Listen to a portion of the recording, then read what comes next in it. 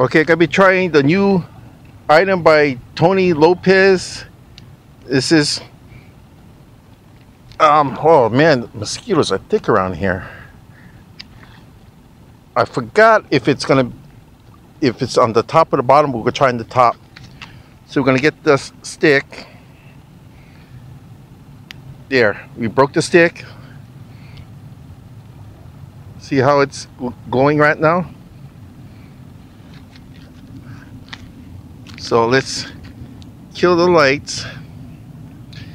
I even forgot my regular light. I have to use my backup light. And uh, here, see that? That's what it's gonna look like. So you're gonna see this thing going up and down when you get a hit. All right, let's see what happens.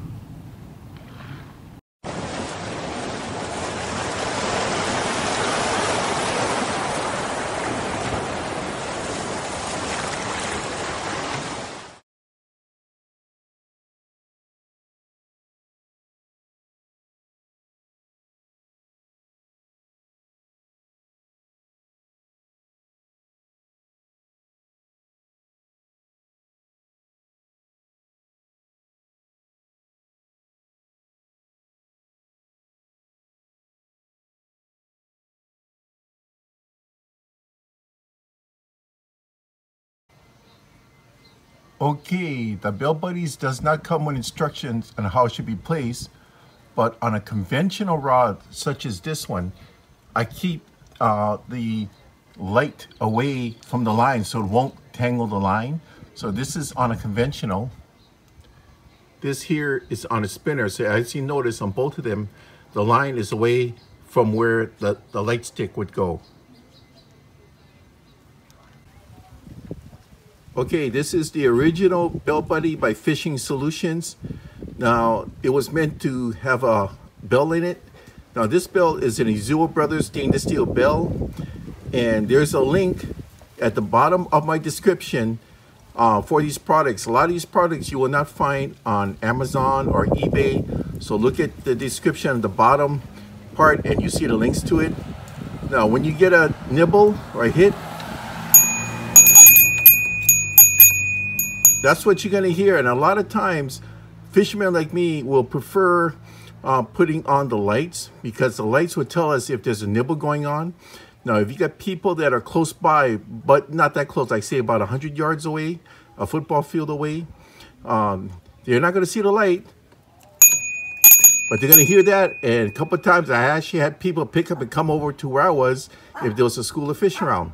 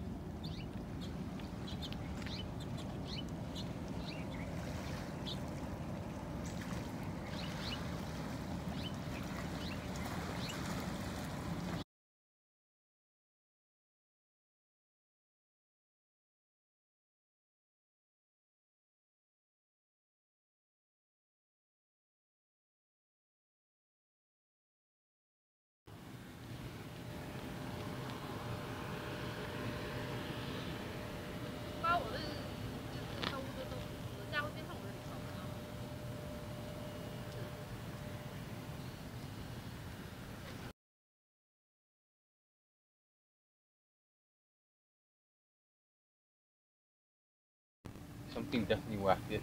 yeah, something's whacking the live bait right now. It was jingling, it was going up and down. Something's whacking, so I'm not sure if the bait's there or not. That looks like a pretty big Pro whack, so it's yeah, probably gone. it's probably gone already. so I'm gonna bring it up.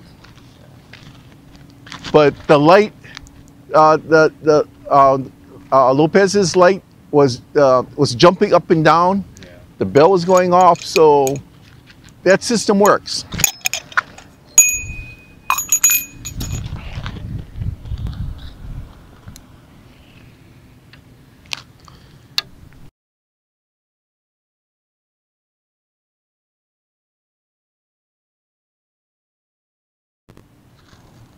Okay, we just took a huge whack on the on the uh, Okuma lure rod. You notice you got the light up there, right? So let me turn this unit off. See if you can see it. Okay, see, I don't know if you can see it. That, the green glow is uh, the uh, the new um, product from uh, Lopez. So this is like the uh, newest addition to his line.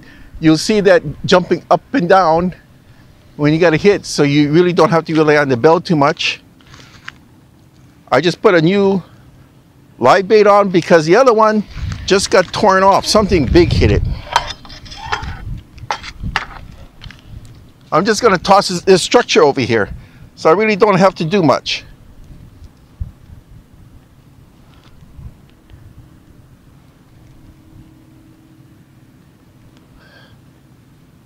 I just have to really toss it out, not too far.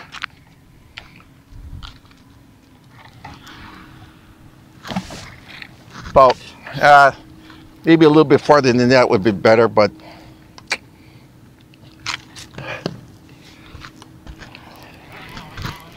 just trying to get it out past the structure. Good, the bait's still on it.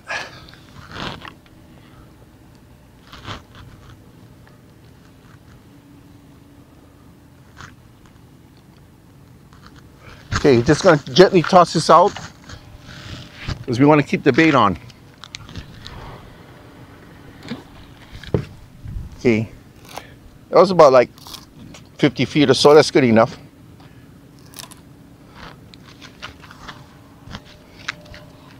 Okay, this is a level drag, so I'm gonna set it back to strike.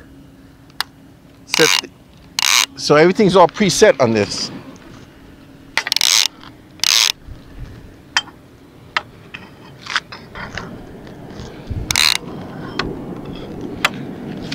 tighten this up.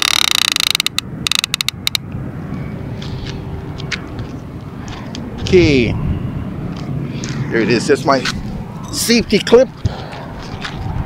Put the safety clip back on.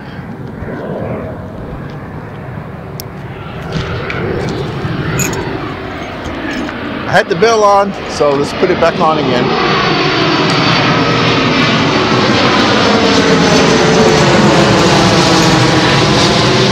That was a good whack. That was a very, very good whack. Okay, see what happens.